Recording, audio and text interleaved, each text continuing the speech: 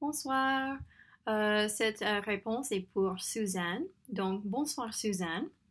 Euh, j'ai aimé lire ces expériences avec votre mari. moi, j'ai 28 ans et je ne suis pas mariée encore. Donc, j'étais pleine d'enthousiasme quand j'ai lu les textes et regardé la vidéo.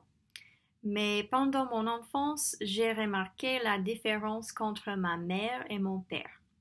Ma mère était une femme au foyer et mon père était le gagne-pain. D'accord? Et il avait un magasin de chaussures. Et après le travail tous les jours, il retournait à la maison très fatigué. Et il travaillait sept jours de la semaine. Il ne nettoyait pas la maison, mais il a lavé la vaisselle quelquefois. Euh, j'aime que votre mari prenne charge de certaines tâches chez vous. Maintenant, mes parents ont fait la retraite, donc mon père fait plus de tâches ménage chez nous parce qu'il a beaucoup plus de temps et il y a une pandémie.